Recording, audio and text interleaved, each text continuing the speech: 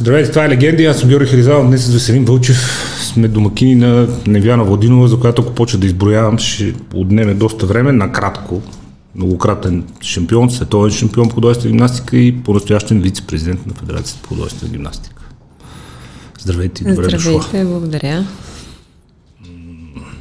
С тази външност, с тази биография, супер успешна спорта, супер успешна след спорта, Малко не ви стана неудобно нас просто смъртните. Не, изобщо не, не е неудобно. е, добре. Не се имам, да за, не се имам за нещо повече от просто смъртна. Просто, а, да, изобщо. Просто се гоня целите и се надявам да успея да си ги постигна всичките. Изобщо не се чувствам нещо много повече от някой. Как започна това гонене? Ти си разказвала 6 годишна в Плевен. Да. Минават гимнастичките, виждаш ги, искам аз тази гимнастичка. Зато добре. Отиваш, почваш да тренираш, водят те вашите. И изведнъж на 13 решаваш да си вземеш багажи и да дойдеш в София. Даже на 11. На 11? Уха. Е, да си. Ти представя си. не, разбира се, че не. Да си вземеш багажи и да дойдеш в София, да живееш в общежитие, без баня. Само и само... Някак си от малка да... си представях, че ще стана добра гимнастичка. Изобщо не знаех как ще се случи, но знаех, че ще се случи. Някакси даже ми се смееха хората, така като се опитвах да им кажа, че ще Кой ще стане? Да, на майка ми се спомням, че казвах, че ще, не знам как ще стане, но ще стана добра гимнастичка и ще остава нещо в историята. И просто ме водеше от малка някакво желание, което явно си беше вродено. На, на 7 години няма как да, да знам какво точно искам. Явно съм си оцелила мястото и съм си знала вътрешно, че нещо ще се случи. Ти си знаела още от тогава, да. То иначе щяхме да живеем в свят с две професии. Пожарникари и медицински сестри, нали те? Децата на 7 години. И полицай. Да, чак път някой полицай за така. да. И така, на 11 бях. Не го взех сама решението, естествено, да дойда в София. Нашите ме подкрепиха.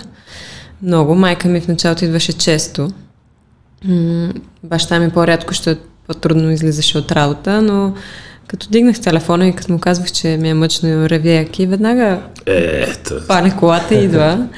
Докато не установих, че го вадя от работа и доста му разбутвам нещата, тогава вече спрях да, да му звъня и да му се оплаквам. Аз един единствен път се обадих на майка ми след една тренировка от някъде съм намерил стотинки и звъннах от уличния телефон там до съблекалните.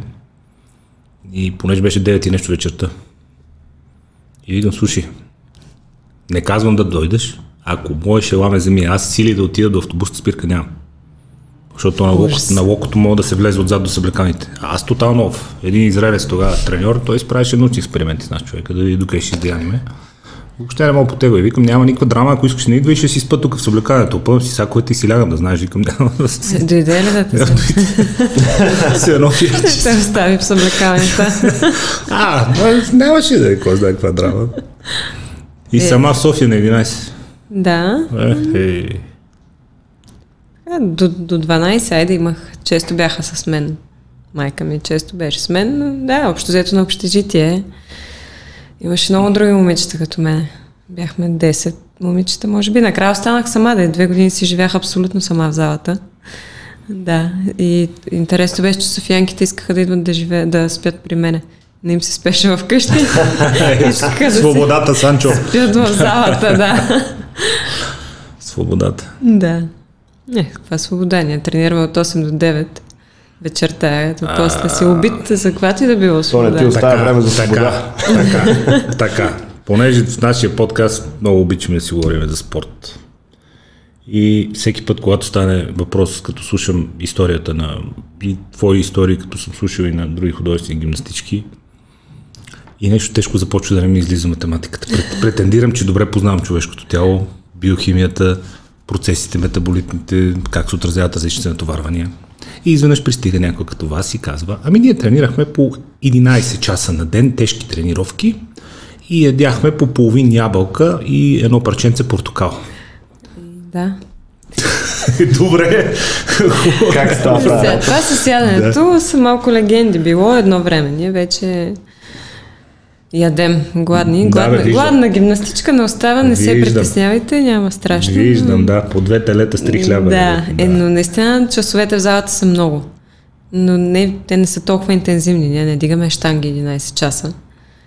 При нас по-скоро психически е по-натоварващо. Физически интензивността може би се, е 3-4 часа максимум се събира.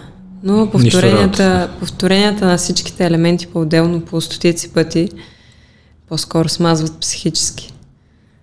Това е едно и също. Всеки ден едно и също. Ставаш, отиваш в залата, едно и също. Никакво разнообразие. Ние затова обичахме да ходим по състезания.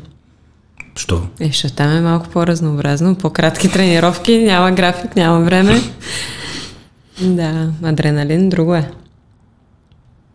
Каква е мотивацията? Около- Ако трябва да разпределиш процентно любовта към спорта и амбицията да си постигнеш целите, заради които 11 годишната си нарамила багажа от плевен, колко е любовта, колко е амбицията?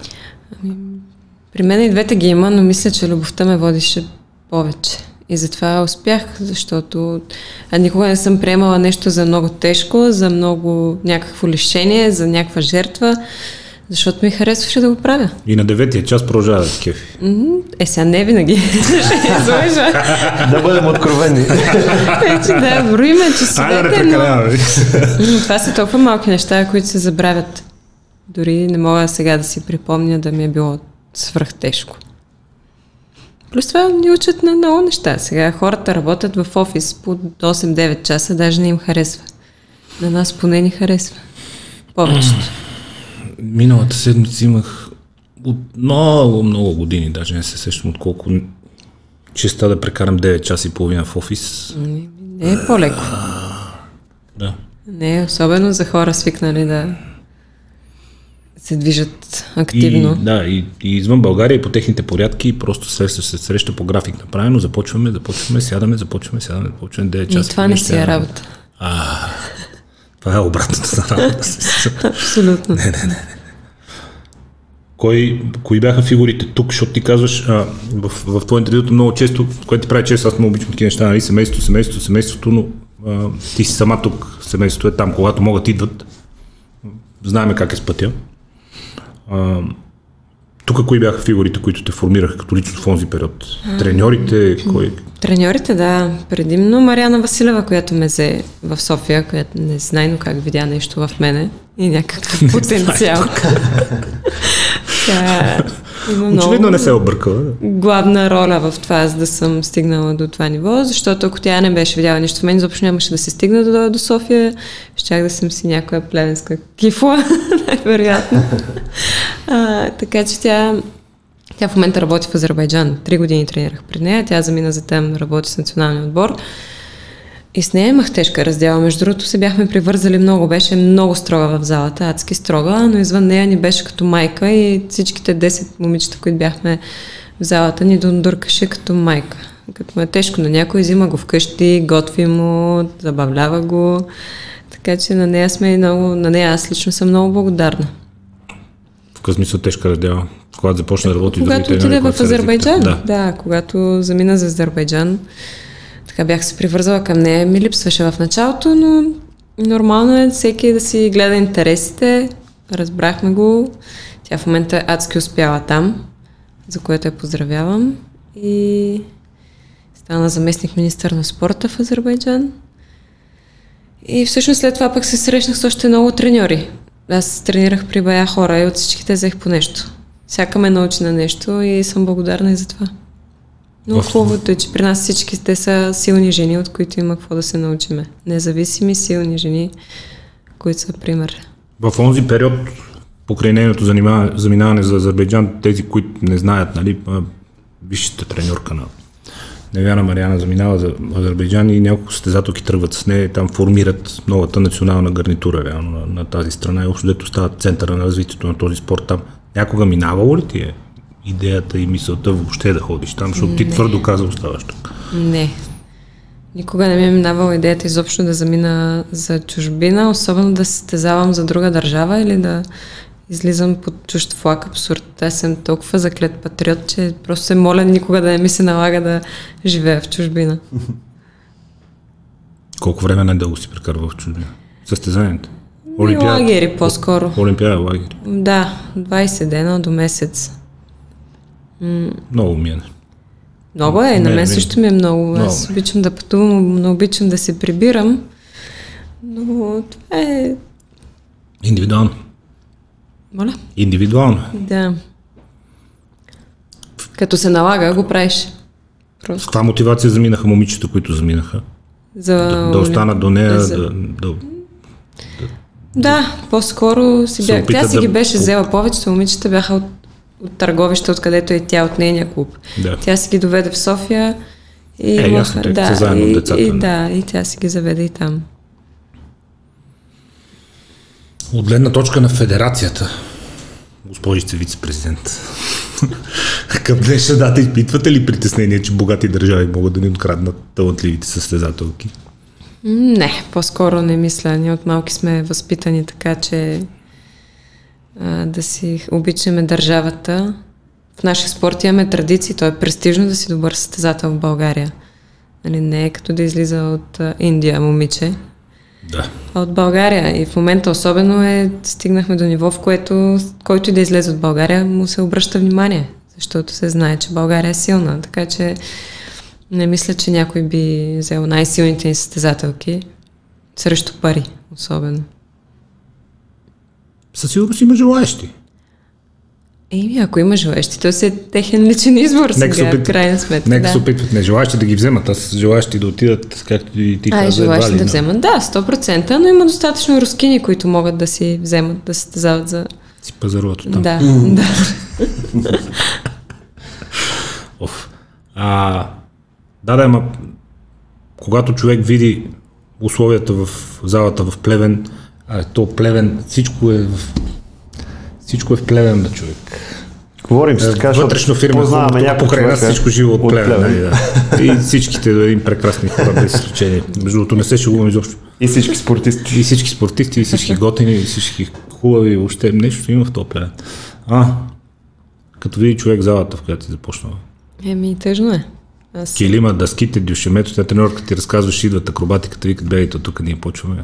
Да, много е тъжно, защото условията са ужасни и не са се променили изобщо откакто аз бях там. И причината аз да дойда в София и да трябва тук да се развиваме точно заради това, че няма условия. Не, че няма треньори, не, че няма желаящи, просто няма как в тези условия да тренираш на високо ниво. И тъжното е, че нищо не се променя. Залата е навънка, ако е минус 7, залата е 0. Има лед по стъклата, дъските са изпочупени. Нали, аз не говоря за някакви луксозни условия. Разглезени, а просто за В крайна нормално, сметка на вас специално ви трябва една настилка и една нормална температура. абсолютно адекватни човешки условия. Все пак тренират деца. Аз даже не знам, възхищавам се на тези хора и треньори, които успяват дори в тези условия да задържат децата да тренират. Има едно погрешно разбиране обаче, защото аз известно време бях част от управителния съвет на Федерацията по тенис, че всичко зависи от федерациите, и че в федерациите, и че държавата е ни пари, и федерациите, и нали, ти утре ако решиш и залата в Плевен не правиш кукличка, нали просто. Трябва да решиш. Да, бе, ма то не- трябва ти пари за тази работа. Федерация, федерация, колко. Колко да е федерация. Да, много. За съжаление, парите никога не стигат. Няма как да се насякъде. То не е, ако беше само плевен така да помогнеме, но то на много места е така. Аз лично го приемам вътрешно, защото си е моя роден град и място, откъдето съм започнала и просто трябва да помагат хора. Мисля, че има достатъчно богати хора, които могат да помогнат и да... Това са общински зали, общински помещения. Просто трябва малко по-активни да бъдат общините също така и да правят нещо. Може би да бъдат една идея по-активни и по-гъвкави, защото около всички тия зали, ти го знаеш като спортист, обикаля всички спортни комплекси в България, навсякъде има место, дето а, спокойно може едната част да дадеш на някой частник за фитнес и с найема да оправиш другата Ето, част. аз Или да му кажеш ремонтири това, ще ти дам другото да го ползваш 5 години. пред. Дава за добър пример. Никакъв Бургас, силна община, силен кмет. Там има 6 плувни басейна, които са уникални. Залата сега ще ремонтират. Гимнастика ще стане супер. Там и волейбол тренират. Така че стига да Нова има зала желание. Да, да. Нали, може. И там си го прави чисто общината и кмета. Да. Каква е всъщност ролята на федерацията? Защото фигурата на Русия Равено силна като лидер. Тя е публична от 100 години, успял човек, уважаван човек и хората действително живеят с усещането, може би от годините преди 89-та, централизираната роля на държавата и на федерацията. Нашия модел е такъв. Ние сме модел ние на спорти клубове, не е като щатите академичен по университетите, колежите състои спорта, че федерацията е всесилна и може всичко, а всъщност, както пак казахме преди малко, става въпрос за едно финансиране около екзистенц минимума, което просто трябва да бъде разпределено по най-добрия възможен начин, защото никога няма да стигне за всичко. Каква е ролята на федерацията в спорт, художество и гимнастика? С какво се занимавате? Какво работиш? С всичко. Между другото, да, наистина имаме много голям капацитет работа. Нашата федерация просто смело мога да кажа, че работи най-здраво от всички федерации изобщо в България. Е пример за това как може да да успееш въпреки всичко. Сега Иляна Раева наистина е много силна фигура, която успява с много... Така първо успява да създаде много здрав екип от хора. Тя не работи сама. В тази федерация има много хора, които се занимават с организирането на първо на световните купи, които правим в София, са изключително важни. Ние докарваме най-добрите в света, в София, в България. Те виждат, че Имаме възможността да организираме мероприятия. Дадоха ни световни първенства вече, европейско, защото организацията винаги ни е на ниво. Делно спонсорите всички, които е привлякла Иляна Раева, чрез лични контакти, чрез име, чрез такова са изключително важни. Без тия работи няма как да създадем нормални условия за националния отбор преди всичко трябва да се създадат добри условия за национален отбор, да момичетата да се чувстват добре, да могат да спокойно да работят, за да печелят медали и по този начин да амбицират малките момиченца да се занимават с гимнастика. Вече всяко второ момиченце иска да бъде гимнастичка след всичките успехи и така наречените златни момичета. Всяка си мечтае да бъде златно момиче. Оттам обаче идва това, че тези момиченца тренират по градовете. Това е масов спорт, на който също трябва да се обърне внимание, на който трябва да... И това се старае да прави федерацията, да подпомага клубовете по какъвто начин може. Държавният спортен календар също ни е огромен. Това са 15 състезания в годината, държавни първенства, категории, възрасти, масов спорт. И така отделно се занимаваме и с всякакви проекти с цел развиване на, на спорт и да се популяризира гимнастиката. Просто искаме да стане малко по... Нашия спорт е бутиков, каквото и да е, не е за всеки. Не всеки разбира от нашия спорт. Иска ни се малко да популяризираме това, че той може да изгражда добри личности. Едно, едни така интелигентни, млади жени, които да не висят по дискотеките и да са популярни с а, постовете си в Инстаграм. Дискотеките са нещо прекрасно. Да, разбира се, в събота. И Инстаграм като мъж ти казвам, че е нещо прекрасно. Това е тренд за футбол. Да си гледа човек. Това е Но, много хубаво, да, но все да пак да не човек, сме но- популярни само с това, което Разбирам какво казваш. там. Между другото, историята на художествената гимнастика в България, просто успелите личности, които е създал този спорт, е Защото е това безспорна. наистина са едни не- силни жени, които заслужават да... Образите и на, на Нешка, и на Мария Петрова, и на Иляна всяка Раева. в Мария Гигова, да, изобщо всичките нашите треньори, които са, те са, освен че са световни шампионки, те са качествени хора. Абе, човек, за да тренира 9 часа на едно парченце ябълка, значи трябва да има Си е сериозен човек. Предполага се, че трябва да има някакви качества. Абсолютно. Не, това няма как да стане сега. Спортът е прекалено сложен и труден, за да издържиме натоварванията на едно парченце ябълка. Но Но се опитвате. трябва да се внимава просто. Вече не е толкова трудно. Има достатъчно хубава храна, и с която мога да заместиш Е, да. всичките И се знае много повече. Да, така че не е толкова наложително да се гладува, даже напротив. Какво представлява самият спорт? Обясни ми, моля те, на мен. Излизаш на а, килима и трябва да изиграеш едно съчетание. Каква част от него са задължителни елементи и как става цялото точкуване? Защото аз от съдийски спортове откачам. И ние. и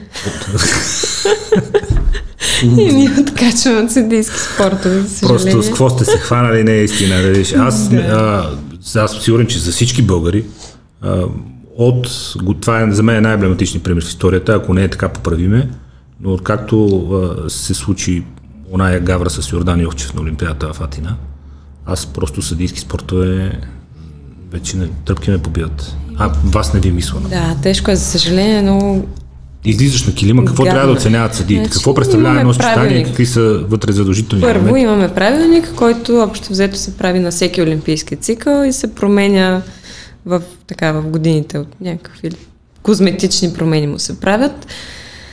Имаме задължително трудности с тяло, трудности с уред. Това са изхвърлянията и всички тези малки неща, които виждате. И имаме оценка за изпълнение и за артистичност, които ето там вече е най-субективното. Там едни ги гледаме по един начин, други по друг начин, защото при трудностите с уреда и с тялото то се вижда. Скочила ли е, скочила ли е, завъртяла ли се, завъртява се, изпуснала ли е, изпуснала е, нали? Да. То, това по-се вижда, но субективното идва най-вече от изпълнението, от артистичността. А, защото това значи музикалност, това значи съчетанието да има история, да не е просто цирк, излизаш там си подмяташ уредите. Но нали, всички забелязваме как едни се оценяват по един начин, други по друг начин. Това е тежкото в случая. Опитват се в момента Международната федерация да избегнат това нещо, защото много често започнаха да се подават контестации на големи състезания, което значи, че има стра- страшно разминаване в оценките. Слага петно върху спорта като цяло, защото Да. всеки път са тия съдийски драми, след всяко първенство. Виждаме и с не- бокса какво става. Те ще ги свърлят от Олимпиадата. Ако ние продължаваме в същия дух, ще се случи и с нас. Така че се стараят в момента и в международен план да избегнат това нещо и този субективизъм, но този човешки фактор съдя винаги ще си остане. Така че е, За съжаление, това е в повечето спорта. То като се замислиш, кой спорт почти не е в съдийски. Е, не е Примерно в футбола се оплакват почти във всеки матч. Формулата в- момента Формула 1, последното състезание го казаха, че е съдийско решение, кой е победил. Човек са в, Почти всеки в, а, в футбол не може да повлияе така, в е, такава там степен. при нас е 100% това. Нали? Ние нямаме няма, там друго. няма правило там няма друг Да, да. фактор. В леката атлетика старт, старт финал, който стигне пръв да. 20 Да, да, там да. Нали, а при нас няма никакъв друг фактор, освен съдя, човешкия фактор, съдя. Естествено и как ще си изиграеш нещата, де. Сега, то като си гонил три пъти извън терена, е тая, който оценява. публиката. да, няма значение, който оценява, но и общо взето Въпросът е, че тренираш, тренираш, тренираш, тренираш, излизаш, зависи от съдиите. Не дай си Божите пореждат. И на следващия ден пак трябва да влезеш, а ти пак да тренираш. И, девет и откъде мотивацията? всъщност- Пак то това. И над, на пук, на... Затова трябва да си просто бетон.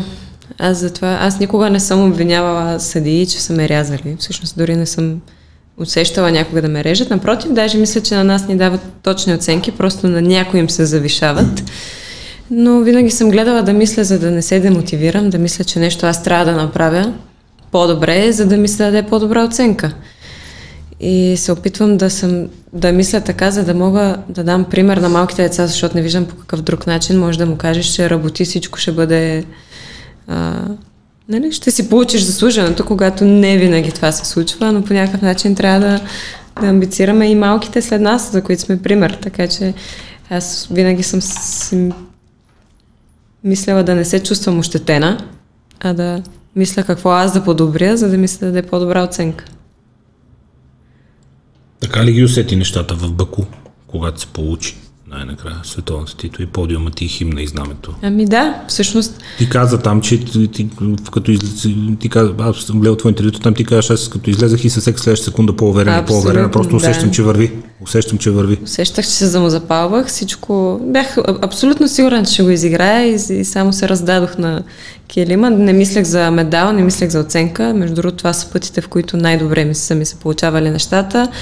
Е когато не мисля за тия неща, просто излизам и едно по едно си следвам съчетанието и си играя. То така и стана. Аз даже като си видях оценката, не знаех, че съм първа. Мисля, видях оценката, не знам дали нямаше още хора да играят след мен. Просто бях доволна от това, което изиграх. И бях щастлива. Може би наистина това е разликата между другото в а, теб и в повечето спортисти, защото а, ето сега си спомням примерно на миналата Олимпиада. А, Христо Христов беше на штангите от България, ако си спомняш, и го поряза съдята за изхвърлянето на штангата, точно за някакво малко движение, че леко е А върнал за някаква лаката. милисекунда, да. За, че е върнал лаката, ма точно за милисекунда и после беше казал, че мисли да се отказва след това. А той е на 20 години. И съответно, тая разлика, че тя не се демотивира от това, да, може би Да. е... Ама това е ами много то трудно. зависи, много да, пак това много зависи от човек, нали. Като цяло и при нас го има много... Но ето, например, ансамбъла, нашия ансамбъл, който сега стана олимпийски шампиони, те, от три години са най-добрите в света. И се, се не им дават. Ама те също не спряха. Те си знаеха, че са най-добри. Да. Отидоха и си го взеха тогава, когато трябваше.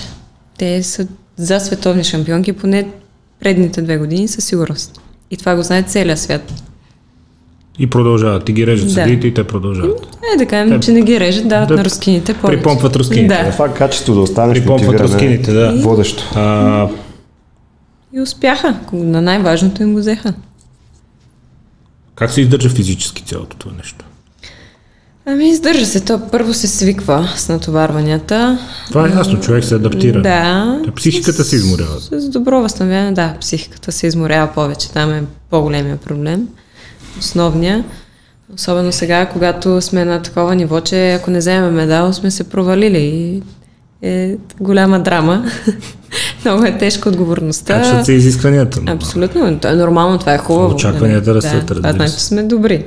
Но очакванията са много големи. И от нас самите, от треньорите ни, от ръководство, от България, от всички. Пак ще дам за пример тия момичета, които отидоха на Олимпиадата. Всички очакваха от тях злато. В смисъл, цяла България чакаше злато от тях. В спорт, в който си знаеме, че и да сме най-добрите, е почти невъзможно да го вземе. И изиграха си го и си го взеха. Така, не, затова не е за всеки, затова е който успее да удържи на тези неща и да, да издържи психически. То е ясно, че който успее, но то спортът те лишава от много други неща. Някога липсвало ли ти е нещо? Ти се шегуваш с дискотеките и с Инстаграма, ама сега... О, не, изобщо тези работи не ми липсват, даже и всякак мога да си ги позволя, пак не, ги, не ми е фикс идея. Е, не, не става просто за фикс идея, става просто за... Не, ние не сме... Както наричат нормално детство. Имахте ли? Ами аз нямах нормално детство и хората си, о, да. Зависи как- какво разбираш под Защото нормално. детство има хиляда версии на да, нормално зависи детство. какво разбираш под нормално. Нормално Моето детство детство си беше супер, много си го харесвам. А, нищо не мисля, че съм пропуснала. Ние не сме се затворили като монахини вкъщи да не излизаме никъде, така че сме си забавлявали.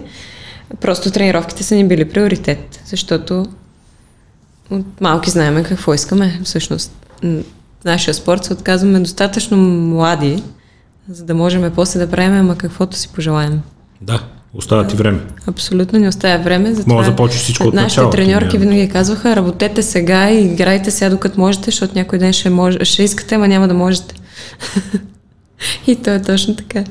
Преди да преминем към периода, в който си искала, ама вече не можеш и си решила, че не можеш или не искаш, ти ще, ти ще кажеш точно как се стигна до, до това решение, но преди това човек не може да не забележи, че ти върви изключително гладко мисълта и подредено и умееш добре да говориш, че да се изразяваш. Това е рядко си при хора, които ужасно много са учили и са чели. Аз редовно се налага да споря с такива хора по студия, телевизионни ми става леко неудобно, защото човек очевидно е чел и е учил много, но Да. не, не може да потегли. Къде остана образованието в целия този процес на толкова много спорт? Защото знаеш, че България на третата секунда особено по-възрастните хора са симпатични. А ти какво си учил? Бе? Да, не, честно казано. Без значение какъв си, какво работиш. Какво? Ти какво Да. си учил? Бе? Те и нас често ни нападат за това, че пренебрегваме училището заради спорта. Факт от седми клас съм на индивидуално обучение в спортно училище. Ходих само на изпити в училище. А, но не мисля, че тези, които ходеха на редовно, са научили много повече от мен, защото ако имаш желание, учиш от всякъде. Ние просто толкова сме научили от опит, от опита, който имаме, от хората, с които сме се сблъсквали. Това са много интелигентни хора, с които ние от малка, с Нешка Робева, с Иляна Раева, Мария Петрова, Мария Гигова, това са хора, от които учиш. И учиш много повече, отколкото в училище, според мен, може да научиш. Те ни насочват, дори нашите треньори също, към това какво да четем, а, с а, какво да си запълваме свободното време. И мисля, че оттам по-скоро сме така по запознати с нещата от живота. Аз не, не казвам, че в училище не трябва да се учи и децата не трябва да учат, но има как да си набавиш знания и без да имаш възможност да си по цял ден там. Стига да искаш. Въпросът е да искаш. О, със сигурност. Той има хора като нешка, които само като ги познаваш, това те прави по, Ето сега, например, в, Докосването а, до такива хората те развива. Абсолютно. Това са хора, които също се интересуват от живота, четат, знаят и личния си пример учат много повече. Сега, например, в пандемията, защото учиме в не сега, завършваме сега и сме също на индивидуален план, но в пандемията ни казаха, няма индивидуално, няма редовно, всичките влизате онлайн, учите, нали, в часовете имахме онлайн изпит, ами ние, които сме защото и аз и мои колежки, които сме на индивидуално обучение, но сме така на професионално ниво сме тренирали, не изкарваме по-лоши оценки от редовното обучение. И то само опита, който имаме и от това, О, което ни се е култура. случило. Да, От общата култура. това, което... Винаги има начин. Почивките, частни уроци, езици. Много е важно да комуникираш с хора. да, малко сме самоуки, но пък това ни помага също, смятам. Като каза Нешка, кои са за теб успешните треньори? Диктаторите или тези, които успяват някакси да мотивират през приятелство и през по-мек личен контакт да те накарат ти сам да си уркаш, защото във вашия спорт, като че ли аз го казвам като външен наблюдател, не е особено запознат. Във вашия спорт образа на треньора диктатор е този на успешния треньор. Ами, успешните треньори са тия, които имат резултати всъщност. Това, че не, ти, че не всички методи ни понасят. Да, смисъл аз видяхме, че става и по двата начина. Ето, Нешка Робева има достатъчно резултати, много резултати, които скоро едва ли ще стигнем като бройка, чрез диктатура. Свирепа. Да, ето сега обаче виждаме как имаме и олимпийски медалисти и всъщност мисля, че това беше идеята на Еляна Раева да покаже, че и с другото става. И то стана, наистина. Има дисциплина, има всичко, но го няма онова на всяка цена, с точно така да го кажа, Без никакви емоции, натягане, да, натягане да, да. без емоции. А, аз лично също не бих изтърпяла другото. Това е лошото, гадното. Моята треньорка, за щастие, Бранимира Маркова, с която така накрая постигнах най-големите си резултати, успя да създаде много приятелска атмосфера между нас, но така, че да мога в залата да имам респект към нея и да я слушам. И тя много рядко вика, много рядко крещи, затова е аз като цяло не, не обръщам внимание, ако някой ми крещи и ми вика. По-скоро ставам един бурсук, но тя когато рядко го прави, аз знам, че когато повиши, то няма защо. И нещо не съм направила. И мисля, че това е днешните деца и днешната младеж по-скоро с това се справят по-добре. Нали? Колко ще ти се карат и ще викат и ще ти ударят и не ще марш си хванеш нещата и ще си тръгнеш. Не е като едно време, дето седиш и търпиш. Е, да. Няма как да стане така. Е, да.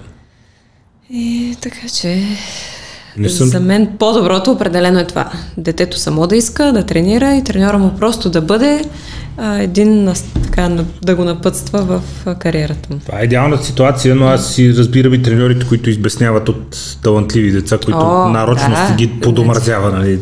Аз това, което наблюдаваме, че децата стават все по-мързеливи, все по- а, така лежерни, особено талантливите, то понеже всичко им се получава без никаква работа, обаче идва един момент, в който излизаш на състезание, като не си работил, не си много сигурен в себе си, не си много уверен и започват проблемите. И е нормално да поудяват с такива деца. И, и треньорите ги разбирам. Аз не казвам, че те трябва винаги да са ангелчета и да... Е, естествено. и, нали, това са нормални емоции човешки. Абсолютно. Аз, аз не съм сигурен дали не ти завиждам за това, че от- затваряш като някой ти вика, защото аз не мога търпа да ми вика някой. О, аз е. там даже ги дразна малко повече. Еляна сто пъти така говори и аз се гледам. Ти, ти какво ме гледаш така? Вика, малко поне те жегна нещо. Аз пък. Не мога аз някой да ми вика направо. О, не, се ме тая. Ако ще работим с някой нещо сериозно и се хващаме, аз ги предупреждавам хората, особено с по-големи от мен, така един на по-висока позиция, някакво викам да знаеш просто не. Разикаш ли ми се? Не знам ще трябва просто съм се научила това. да подбирам полезната информация и да не се, а, да не поемам тази негативна енергия върху себе си. Да, каквото чуя ми е полезно и ми трябва, го чувам. Затова ти Другото казвам, че не знам дали не ти завиждам, защото това си за, за, леко за завис. Аз не мога. Просто ме и пада друго предене, като твоето едно по-различно малко. Да. О, не. Не мога да се занимавам чак да, да се засягам и да...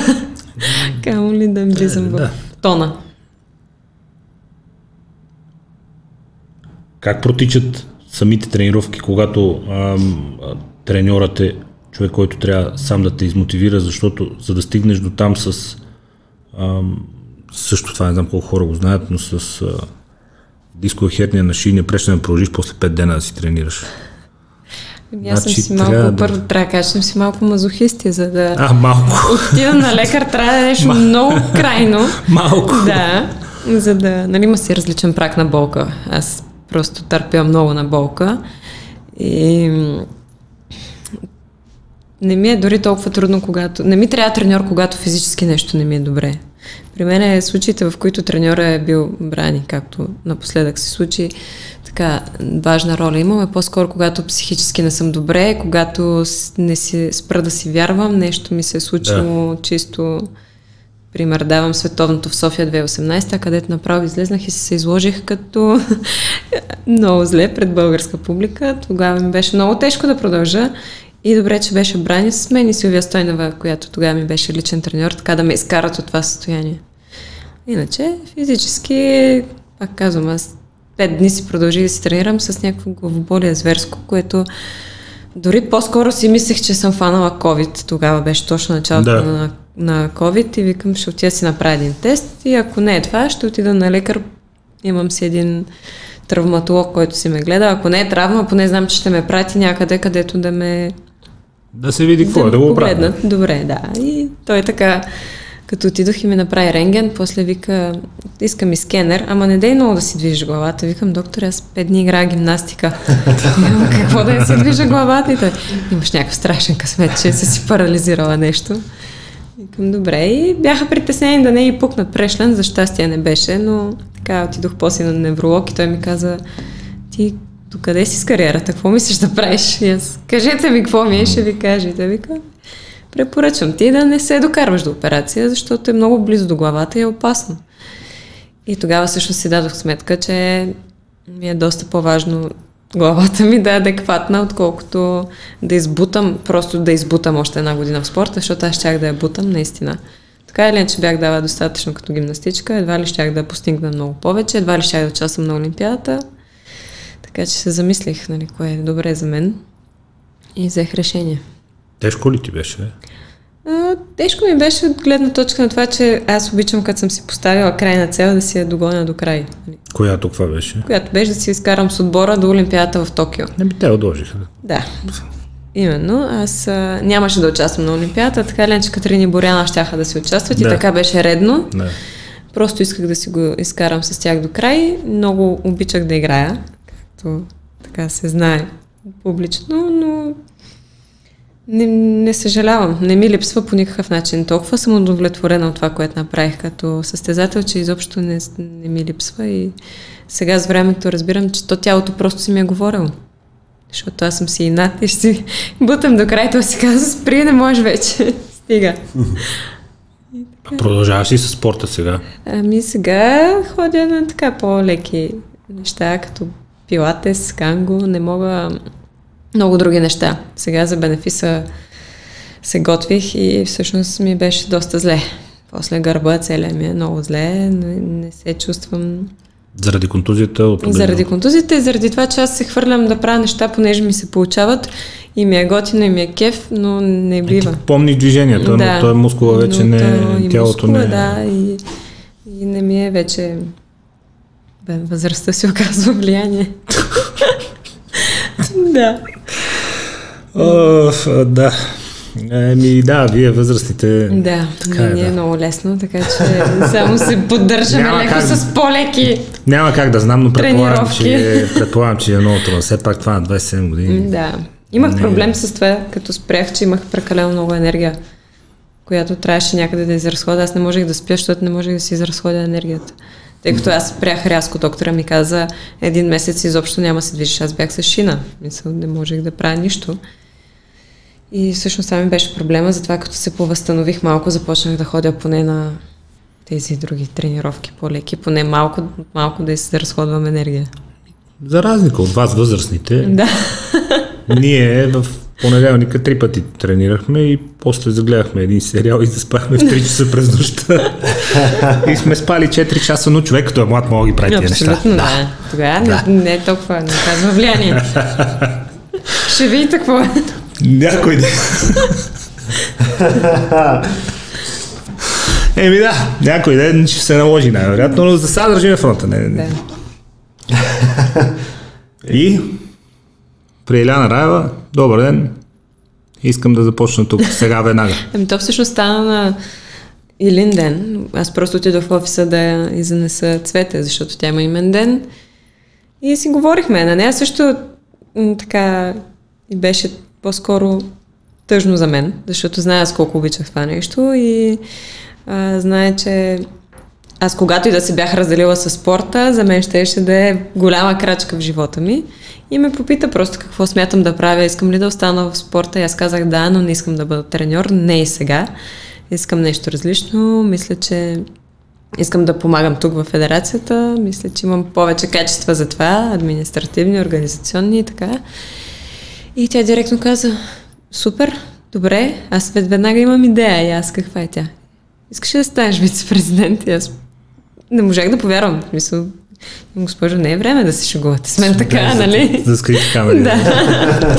не, Покажи така. В смисъл, не, е- не е смешно, да? търпя, имам чувство за хумор, нося, но все пак.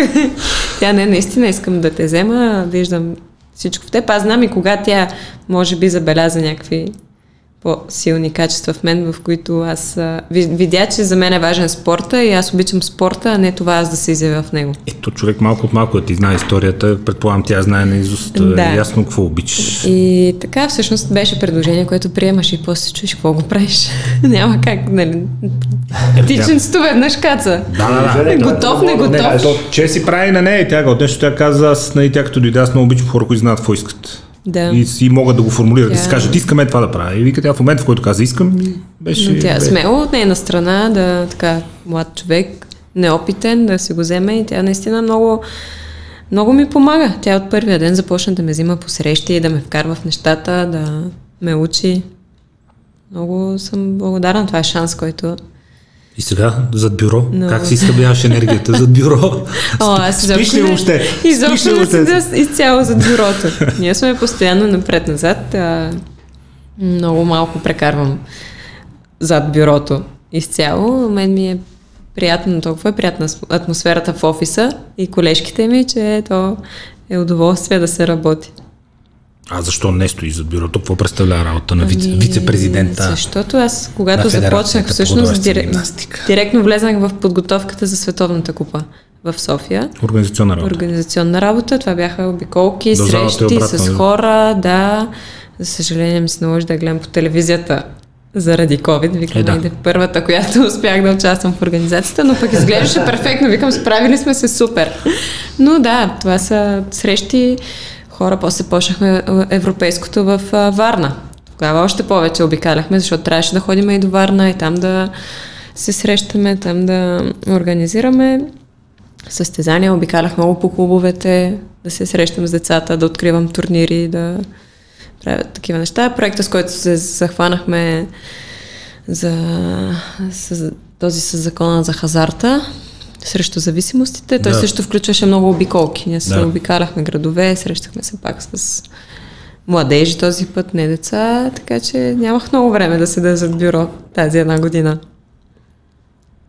Остава ли ти време за хобита и за неща извън спорта или си фокусирана изцяло върху О, да, особено работата? сега много ми остава, много повече от преди. Каквото и да е, доста бързо свикнах с а, два почивни дни, събота и неделя. преди имахме само по един такъв. Имам много повече време да си обърна на себе си, да се занимавам с каквото ми харесва. Какво ти харесва? И аз имам така... На моменти съм на етапи. Имам странни... Не странни хобита, но обичам да чета както всеки. Това не е странно. Обичам да пиша, обичам да рисувам. Абе, както всеки. Не, е, по едно четене пада умното Да. заедно, така че както Обичам всеки. да пиша, да рисувам, обичам да сега лепя тези гоблени с камъчетата, където са. И с това се занимавам. А, обичам да, ето, например, ония ден си изглавях рафт вкъщи. Това поредна, поредна демонстрация на здравата ти психика. О, даже толкова ми беше приятно. Малко обърках две-три такива дъски, ги обърнах наобратно, но после си ги върнах на място. Така. Даже се чуда сега какво още да направя, за да Човек като има изградена с годините, времето. с годините изградена здрава психика. Но нали, това го правихме още като малки с Катрин, си спомням.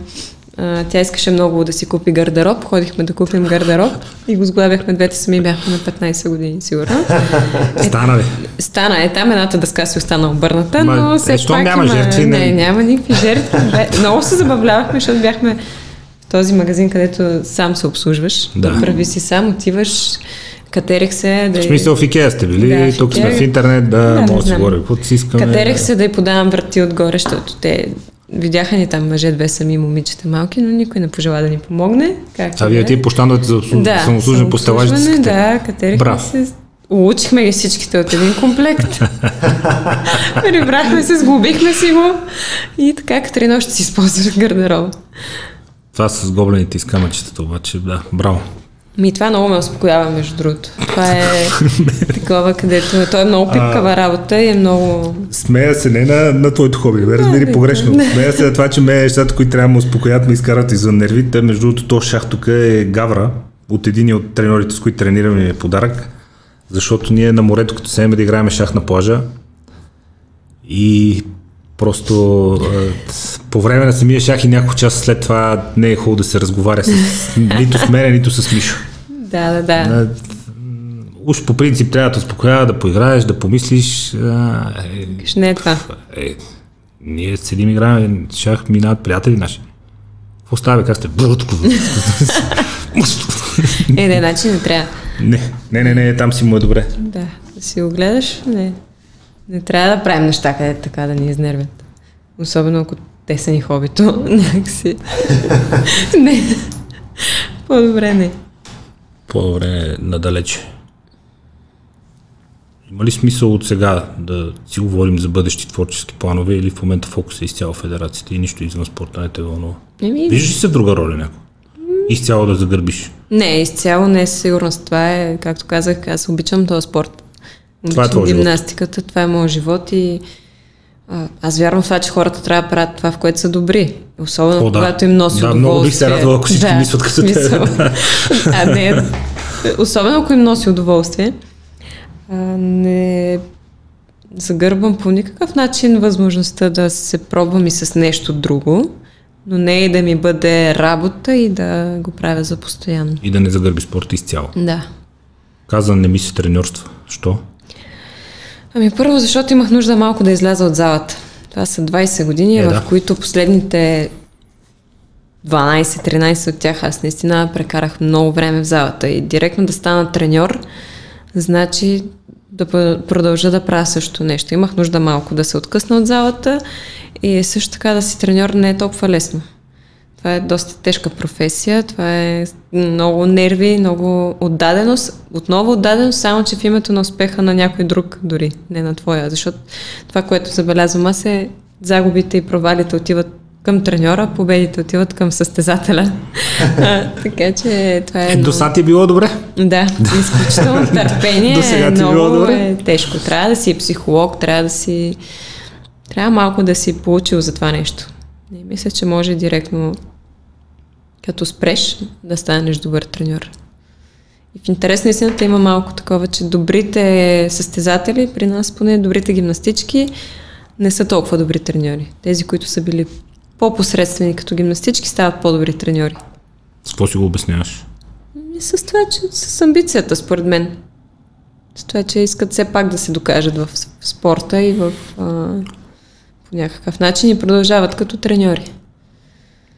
Може би има и нещо в характера на шампионите, че са прекалени индивидуалисти и не, не могат толкова да е добре така, да, да. споделят и да предават знания, като че ли. Да, и може би губят търпение, искам се детето, което тренират веднага да може всичко, веднага да прави всичко, веднага да е шампион.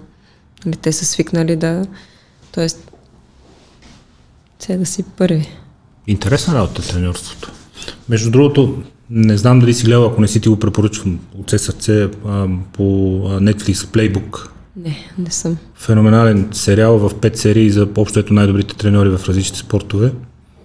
Епизода с Мауриньо целия е, той е шедьовър от първата до последната секунда. Ще гледам. Той човек е, да.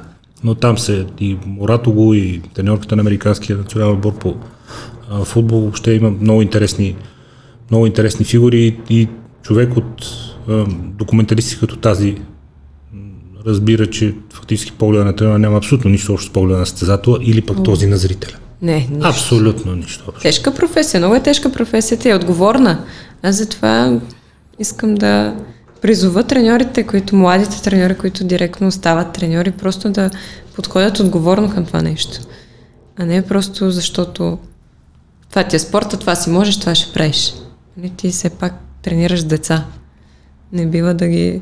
А другото, заради което не исках да ставам треньор е, защото не е моето. Усещам го, че в момента не би ми доставя удоволствие, което значи, че няма да се вложа на 100%. А да заблуждавам деца, които ще се запишат при мен само, защото ме харесват много като гимнастичка, не искам да го правя. Нито те ще имат полза, нито аз от това. Да осребряваш марката. Да. Не ми е...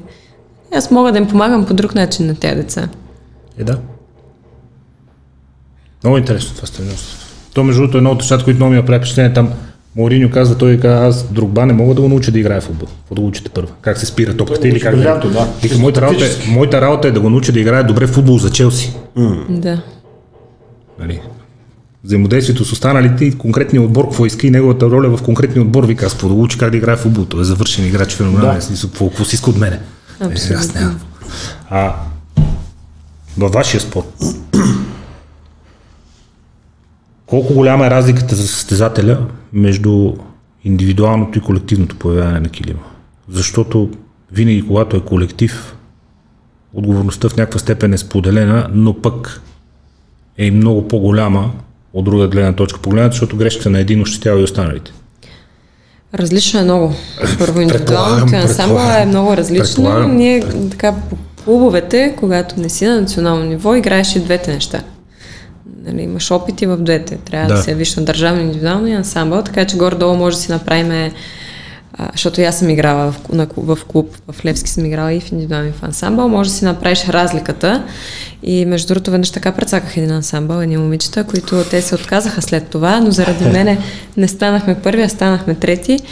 Аз още не мога, още им се извинявам, нали, защото аз си продължих пътя и си бях успешна като индивидуалистка, но те се отказаха и нямаха повече възможност. Да, да, много по-отговорна да си в ансамбъл, много по... е, Трябва да правиш компромиси, нали, трябва малко да превъзмогнеш своя характер, за да може да се а, съчетаеш с другите, но пък индивидуалното е по-трудно като дисциплина. Там Няко, някой те покрие. там няма кой да те покрие, там е по-трудно чисто като технически е много по-трудно. Много по-трудни неща се правят и всичко се вижда. Всяка една грешчица, всяко едно грешно нещо се вижда. Е, да. Да, много. Цялата зала е сперена в тебе, няма да- Повече физически качества се изискват в индивидуалното. В ансамбъла се изискват повече човешки качества, повече отговорност и повече колективност. Да не си такъв индивидуалист. Да, не, няма как да стане. Ако не сте, ако не сте сплотени, не сте екип, няма как да стане. По различен начин ли се тренира за явяване, индивидуално явяване ансамбъл? Да, абсолютно по различен начин се тренира. Първо, че индивидуалното са четири съчетания, в ансамбъла са две. А, отделно в а, индивидуалното трябва да тренираш много повече елементи с уредите. Нали, много повече като време и като Да. количество. В ансамбъла пък трябва да тренираш и синхрон, и да уеднаквиш децата, нали, момичетата. Трябва повече физическа издържливост и подготовка, тъй като съчетанията са по-дълги. Две минути и половина, в индивидуалното са минута и половина. И не може да се а, прави, да се правят еднакви тренировки.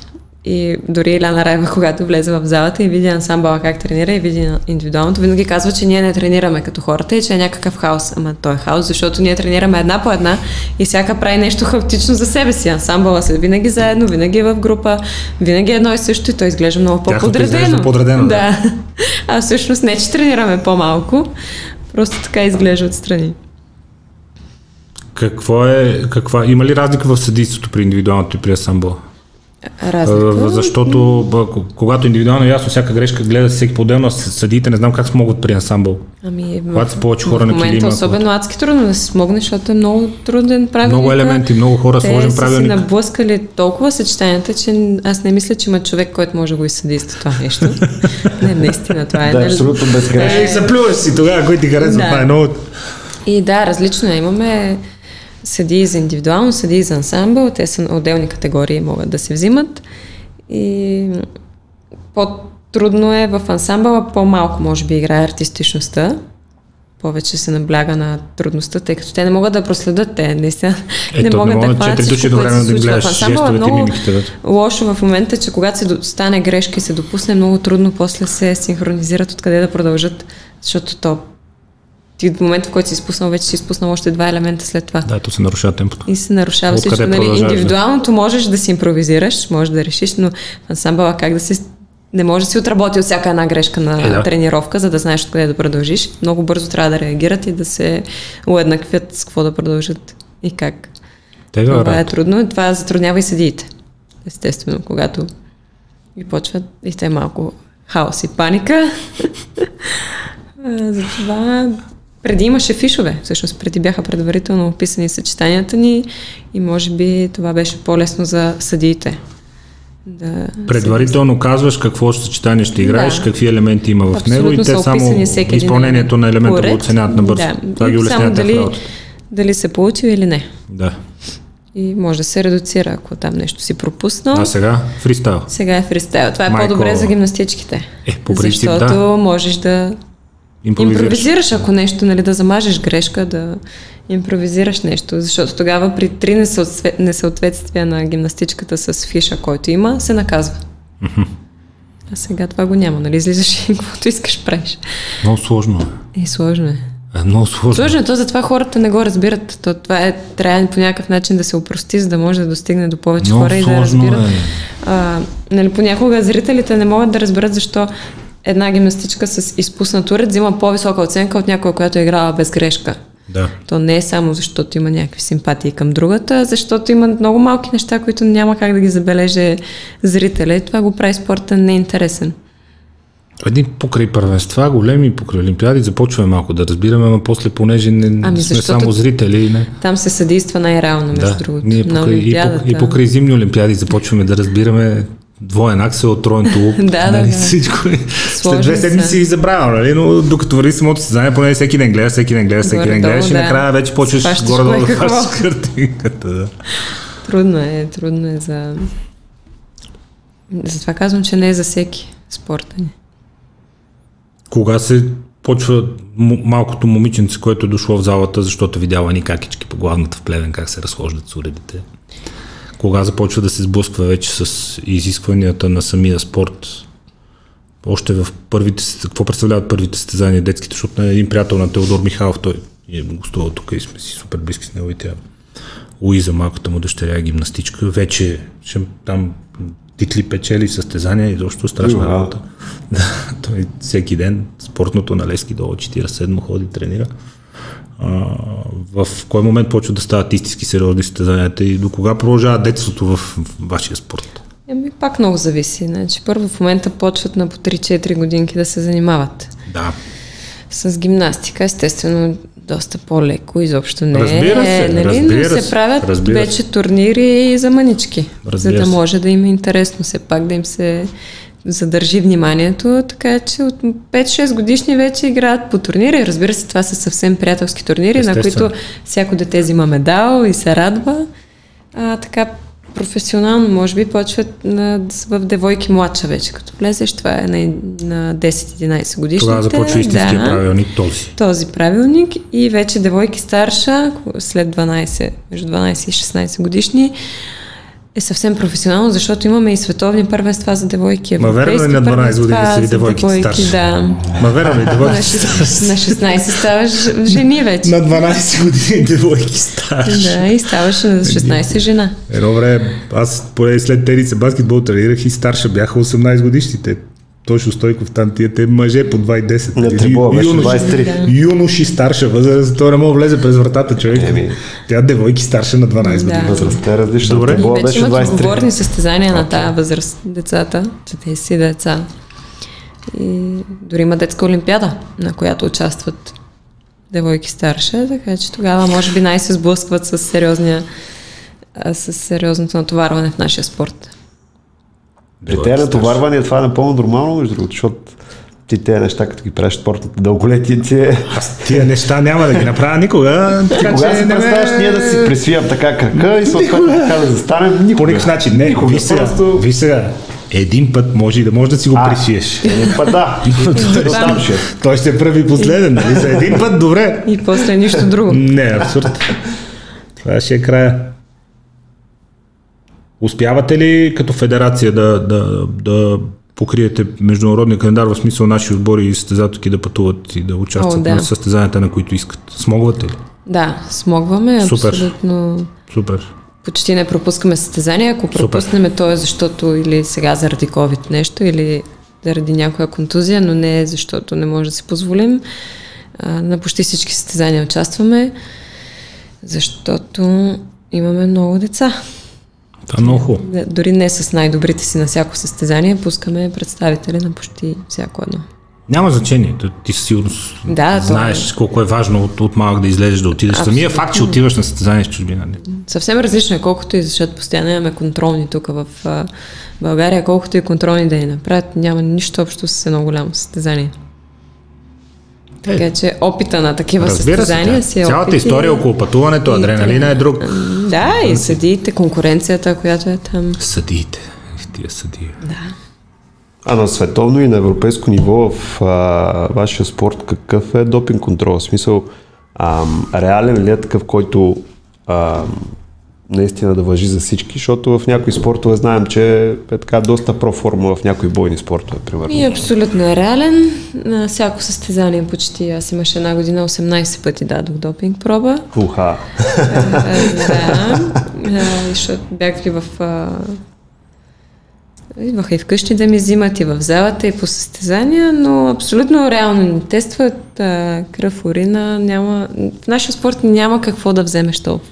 Всичките случаи, в които са хващани с допинг, то е с а, диуретици, с флорентрили, защото отслабват. Заради Друго, друго няма какво. Не е Да измислено водата. хапче, което като хапнеш да ти падат уредите в ръцете. Нали, ние нямаме нужда от някаква свръхсила да дигаме тежести, нямаме нужда от При вас всичко е техника, да съчетанието не е много два дълго. часа. Да, да то е минут, няма какво толкова да взимаме, така че от това отношение ни е чист спорта и а, не съм чула някакъв по-тежък случай. Наистина това са диуретици. Свалят, Пред- свалят килограми с тях. Пречува ли ти е в ежедневието допинг контрол? Да те кара да излично да се съобразява с нещо, какво ядеш, какво пиеш? С Мико Кузманов си говорих тук тенисист, той казва, аз по някой път странни ситуации, няма какво да си пие или си ми оставили в хотел, стая някакви напитки, звъна на доктора по нощите, чита му етикета, какво съдържа, може ли, не може ли, аз сега не знам По един час викаш в нещо. магазина, докато прочета етикета на всичките Чета неща. етикети, снимам с телефона, Аз пращам. това пия само вода. За по-лесно. Само вода и Сигурно това е. пия само вода. Не, е, от тази година, между другото, момичета трябва да описват и когато пият кафе. Това е ново. До сега нямахме такова Заради кофеина. в Да, заради организма. кофеина, то по принцип а, има някаква мярка, която можеш да използваш. Има го и на много лекарства, например Тайлол, Ход, Норофен и някакви такива. С натрупване също може да ти го чете в допинга, така че те си ни дават всяка година една книжка с нещата, които може и които не може и си я носим с Колко нас. кафета може да пиете на ден спрямо тази книжка? Тогава можеше, аз не съм имала проблем. Аз пия много кафе Не, и то- съм си пила... Аз, аз също, на мен ако ми ограничение Да. на кофеина сега... То става въпрос за някакво натрупване в много големи количества. Сега едно-две кафета на ден няма никакъв проблем, просто вече им го изискват да го опишат. Кой за да пие се едно-две кафета на ден? Това е. То лошото е, че Да. всяко едно хапче, дори и за глава, примерно бедалги, пак има кофеин. То всичко е... Да, за това с тях трябва да се внимава просто да не се натрупват. Нали? Те ни казаха да не пиеме точно цело ход, такова, но това става въпрос да пиеш 20 дни подред, за да ти го Е, да. Веднъж инцидентно нищо не е. Е, не да. съм имала проблеми с това нещо, не съм се лишавала от... а, А хранителни добавки взимахте ли? Някакви. Да, взимахме... Аминокиселини и така. Витамини, магнези. А, Сега вече мога да си призная, че много рядко взимах, защото Иляна много ни се караше, че не взимаме. Аз пиях само магнези а, и от време на време за ставите и за такива неща. Иначе пиеме всякакви неща за сила, за издържливост, така да ни подпомага за сърце, защото имаме кардио натоварвания, за мозъка. Но те са много изчистени неща, изобщо не са... Е, не, Те са- говорим за хранителни добавки. Хранителни Ама, добавки, а, да. а, а, Но аз от всяко такова нещо се чувствах зле. А бяха ни инжекции B12 преди състезание. А, И аз веднъж се опитах и се чувствах много зле от това нещо. Направо се едно, толкова енергия ми дойде, толкова сила, че се гледах отстрани, не можех да се контролирам. Те ми хипер. от Има, да. има, има такива хора, има такива И хора. спрях и понеже така Иляна, пак да си призная вече, не, караше ни се това, като го правим, аз се бях говорила с доктора да каже, че ми е слагал, защото аз не се чувствах добре, нямах нужда от това нещо и не исках да го приемам, но трябва да се взимат. Малко са хората като мен, на повечето имат нужда да взимат, защото е много тежко физически натоварването, като Ти като го каза сега, се сетих, че един от бившите ни световни шампиони по штанги с съпругата му говори веднъж, тя каза, той понеже природно е толкова здрав. да. И при него всичко идва отвътре и вика някаква животинска сила и енергия има този човек. И преди състезание пак, и той още при Ивана Баджиев е бил, пак с витамин Б. И каза, той откача. Да. Става му лошо смисъл, превърта играта. Той Някаква минава отвъд, може минава отвъд максимума и ви се супер се стимулира организма и той превърта, превъзбужда си и му падат И резултатите. при мене причернява ми такова. Наистина, аз едно се гледах отстрани то го направих грешка да бъда на От витамини, състезание. смятай. И не можех да се контролирам. Не можех и то при нас е лошо. Разтреперих се от енергия. Уредите почнаха ми падат от ръцете. И просто спрях.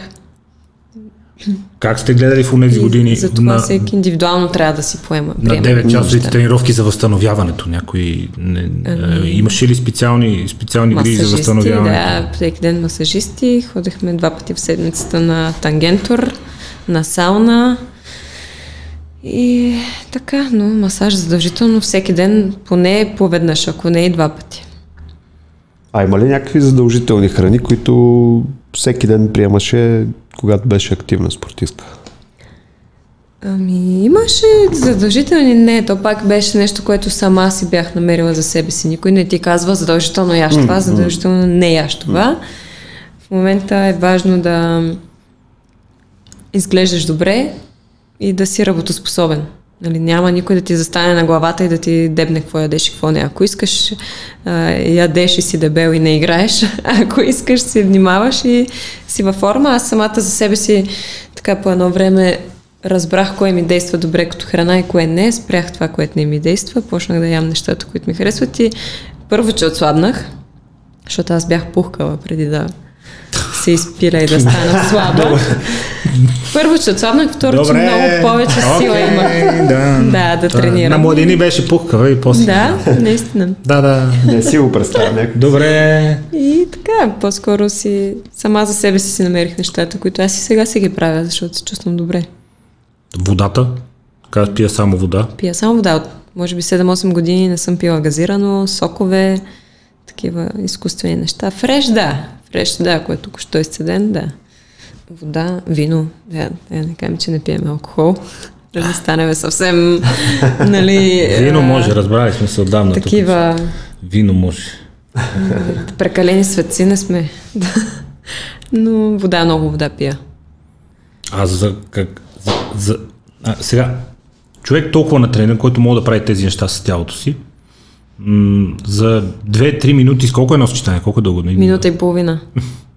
Мисля, дали е с кило повече или по-малко, едва ли има толкова голямо значение, когато е толкова натрениран и толкова добре си владее тялото. В смисъл, това са невъзможни неща. Абе, А защо е била винаги тази история с художествената гимнастика и килограмите? Вие не сте категориен спорт. Аз разбирам а, штангисти и това там истерията с килограмите е брутална, нали? защото той просто няма влезе в категория. Не мога да се състезава, ако не, не, не мине кантара. ами, Да сме слаби, да сме слаби. Защо? чисто естетично, първо. Е, сега. А, останало от едно време това, което тогава е било мания да бъдат клощави, което аз също не го разбирам. Сега, Аз също. не. сега не е така. Сега се харесват по-женствени форми, нали, не дебели гимнастички. За всеки е ясно, че е грозно да А. излезне дебела жена и да се съблече и да прави тези неща, но вече се гледа то в световен мащаб е така. То аз го забелязвам дори, дори при манекенките и моделите, че стана по-модерно да са женствени, да са по хелти, както им Малко казват, се по-здрави върна, да, да. изглеждат. Малко се върна, Да. да, и при нас е така. То сега и не може. Наистина това, което има като формите, често са мускули. Просто защото за да издържиш на правилника на нещата, които правиш, то ти трябват тия мускули. И за това не ни и мерят. Когато изглеждаш добре, не те мерят, защото не сме категориен спорт. Да, и нямате категории, няма нужда. Но а, просто това гледат, да изглеждаш добре. Не... Сега вече всеки треньор си има различна представа за това кой как изглежда добре. Според мен най-важното е да се чувстваш добре и да можеш да си изпълниш нещата. Ами, да, но то когато си по-тежък и по повече Колко килограми имаш. тежък има може значение. да си във ами, вашия спорт, с вашите за тренировки. нещата, които правим- нещата, които прави. Ти казваш, не е хубаво да се съблече някой дебел, някой дебел да ги Ами, направи да, но Ами, тя не може. Как носи ще- повече травми. Това, Това са да. повече килограми. Тия всичките работи, които правим с Това тялото да. си, на повече килограми носят повече травми. Това да, Да, безспорно. това е една от основните. Въпреки че аз си разкъсвам глезена. Какви бях, Да, аз съм виждал глезена ти в... Като бях а, 45 кг. Аз съм ти го виждал глезена по снимки във всички Да. цветове на дъгата, между А, да. другото. Много интересно Но оформен така. Но Това беше инцидент сега. Тези хроничните травми, които се получават в кръст в колена, наистина при по-пълните гимнастички са по-често срещани. Това е. Това е историята на травмите. На На травми. Невяна Владинова. Ами аз дълго време нямах сериозни травми, които да ме изкарат от залата. Първата беше 2018. На лагер бяхме във Варна, от голяма простотия, от скокче на два крака, дето си прескачах лентата, преди малко мина. Просто стъпих на единя на криво и паднах. И директно ми стана е такъв глезена. Да, видях. Да, и отидох там на, във Варна, веднага отидохме на лекар. Всичко, връзки, капсула, всичко бях пръснала, но така, че достатъчно, че да няма нужда от операция. На косъм се държаха, да може да се възстанови само, но два месеца ме изкара от залата. Изобщо почти не тренирах, само с ръце и на другия крак. И пропуснах голяма част от сезона състезателния и после доста трудно наваксах. Това е годината, в която преди малко казах за световното ми, проваленото Да. ми световно. И после още веднъж на също той става леко халтав. Вече ставата става халтава, когато веднъж си го направя. Още веднъж си го изкривих, но по-лекичко. Само две седмици спрях. И другото ми сериозно вече беше това с врата, което пак от страшна простотия го направих. От кълбо. И как от кълбо си пада Еми на от врата? тези нашите рискове, които ето, ето точно така. Шенета с кълбо, точно е това. Правих шенета, сп- спънах се в кръка си, видях, че ще си разбия главата и за да не си я разбия, супер бързо се свих и си паднах на тила. На врата. Директно на врата. И видях как треньорката ми дойде. Скочи директно, беше върху мен. Явно зле съм паднала, аз не го помня чак така. И аз викам, нищо ми няма, дотренирах си, тренирах си още 5 дни, това вече го разказах, но а това беше финалното вече, след него приключих. Но като цяло не съм била с постоянно, има спортисти, които постоянно са в някакви травми, постоянно лекуват нещо, постоянно не могат да са на 100% заради това. Аз имах късмета да съм здрава доста дълго време. Тук късмет ли е? Еми, сигурно. Не знам или... Но другото е, че не много обръщах неща. много внимание на нещата, които ме болят. Де сега... Много са някакви... Много неща са. Не е само толеранса към болка, защото дисциплината, да си легнеш на време, да възстановиш добре, да се храниш правилно, да, Абсолютно. да не злоупотребяваш с тялото си по други начини извън залата, за да му дадеш възможност все пак да, Да. се освести от тренировките. Да, въпреки, че зависи много и от а, самия човек, мускулатура, има си по-меки Е, да. хора с по-меки стави, които са по-предразположени към такива неща и трябва да се пазят много повече. Е, да. Ти кога разбра, че в смисъл от малка си си поставила целите, но кога започна да си вярваш, че ще стане? О, Защото ти казваше, не късно. знам как, ама ще стана. Не знам как, ама някой ден ще дигат и за мен. Знамето дано някой ден дигнат и за мен. Доста Знамето, късно го разбрах всъщност. дали ще го дигнат и за мен? Знамето, кога си повярва истински? Ами... Късно беше. Бях вече... Около Олимпиадата, Даже 16-та? сигурно там някъде. Може би като взех квотата за Олимпиадата. Да. Може би тогава вече горе-долу. Викаш, аз май верно ставам. Да. Ай, верно съм сред, вече стигнах някакво ниво, където съм сред най-добрите. Да, защото преди това много време имах а, опити да вляза в националния отбор, не успявах. Много години се опитвах, все не успявах. Имах някакви състезания международни, на които се класирах назад. Не бях сред най-добрите. Дори в годината, в която взех квотата, започнах с едно състезание, на което от 26 гимнастички, аз станах 24-та. И брани малко така, къде сме тръгнали, какво ще правиме. Но като успокоихме се много, много работихме в тази година. Това беше много по-трудно да вземем тази квота, отколкото участието на Олимпиадата. И може би след това, когато вече влязох и на финала на тази Олимпиада, си викам, добре, може би вече съм готова да се боря за медали. И то така и стана. Мене всъщност нали, обикновено хората завършват кариерата си с Олимпиада. Моята професионална по-скоро започна с Олимпиада. Тя ти отпуши. Да. Даде ти вярата. Да. Къде остана семейството в тези години вече на успешната състезателка и на вице-президентката? Сега звъниш ли им да им се оплакваш колко ти е тежко? Не, аз никога не спрях. Наистина, в момента... Тати, тук в федерацията ни не е, Тогава много рано спрях да им се оплаквам и те дори да. разбраха за точно този ми скъс англезен по телевизията. Аз много дълго време го криех и от тях, защото знах, че всеки път, като им се обаждам, им казвам, че нещо ми, и ми има, те просто се притесняват. Няма какво да направят. Е, да. Само седат там и се притесняват. Е, и да. просто почнах да избягвам това нещо. А, така че и сега дори не им се оплаквам за нищо, но винаги са, винаги са били до мен, винаги са ме подкрепили, въпреки че не са били постоянно физически с мен, винаги съм усещала тяхната подкрепа. И съм им много благодарна. Първо, че ме пуснаха в София. Не знам, не много родители ще пуснат децата си сами О. на 11 години в друг град и че са ми дали възможността сама да си решавам какво да правя с живота си. Нали, хем да не взимам някакви решения неадекватни, хем да, да са си мои. Това не знам как са успели да го постигнат, но винаги са ме подкрепили. Аз щях да кажа, че те по някакъв начин са го постигнали да те възпитат. Така, да. така да те възпитат, че да нямат притеснение да, за решенията, които ще взимаш. Абсолютно. Ще все пак сами деца в София също можехме и по друг път да поемем. Кога успяха за 11 години така да те възпитат? нали първите се? да. Явно наистина са много важни първите се. Да. Някак се успяха да не да не прескочат границата, те да ме натискат нещо да правя, а да ме подкрепят, все едно аз сама да взема това решение, което знае ли се, че е правилно за мен, най-вероятно, и успяха да се отдадат и те на него. Обичаш ли си ходиш в Плевен?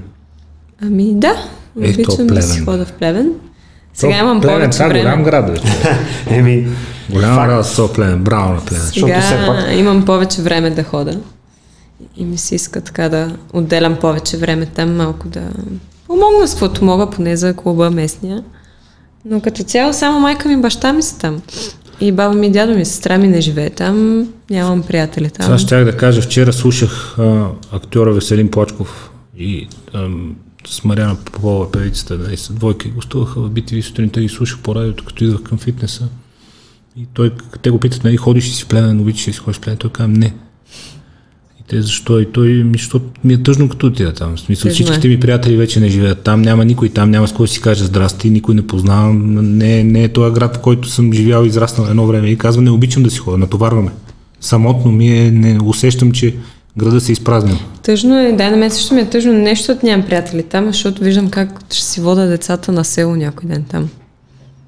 Малко е наистина запустява града. Младите не знам дали имах толкова какво да правят там. Аз, например, не много, бих се много. върнала просто защото нямам какво да правя там. Няма как да се развивам. Не съм сигурна, че има достатъчно поле за изява за млади хора. Така че те да си останат в града и да се развиват в него и да развиват него. Това е тъжното. И на мен това ми е тъжно. По-скоро, по-скоро няма и мисля, че може би е време да започнем да го приемаме като някаква реалност света се развива, живота се развива, концентрират се живота в големите градове, няма как насякъде да е интересно и насякъде да е пълно с хора и насякъде Може. да е живот. Трудна работа. Ами... Ако погледнеш към една съседна Гърция, там е от два града. Така е, той в, Реално и в Румъния има един, ама... А... Румъния Виждам хора по места, които се чувстват добре на родните си места Супер. и не искат да се Супер, махат нека. от там. Супер, нека. И не мисля, че Плевен няма капацитет да направи нещо по въпроса. Исторически град, история. Е, да. И, да с силни наистина... заводи някога, с силна промишленост, с силни университети. Къде е отишло всичко?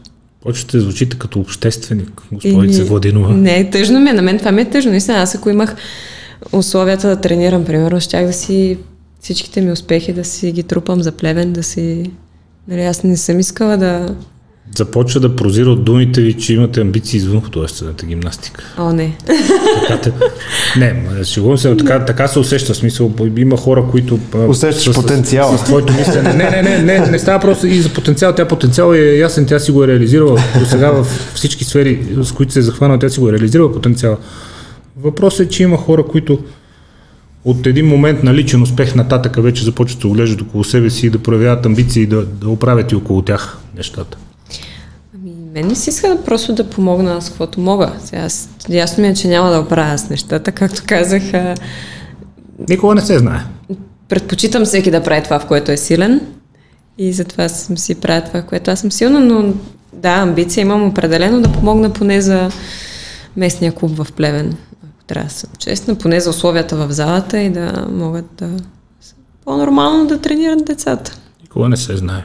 То всеки, ако прави по-малко, между другото, те нещата ще се случат. Никога не се знае. Да, всеки от мен, аз сам не мога, но всеки ако направи това, което може, Нещата ще се случат. крайният резултат А, ще да, бъде. винаги единственият начин да не се получите да не пробваш. Да. Пожелавам ти да продължиш да четеш, да си здрава, да си съхраниш амбицията, благодарение на която си постигнала всичко до тук и да успееш да направиш дори и нещата, които към днешна дата си мислиш, че не зависят от теб или че не можеш да направиш сама. Според мен можеш. Личи ти. Аз обичам да говоря, като съм ги направила. Ще говорим и след като Ще ги дойда направиш. пак. Ще говорим и след като ги направиш. Добре. Благодаря ти за отделеното време. аз. До скоро. Благодаря, успех.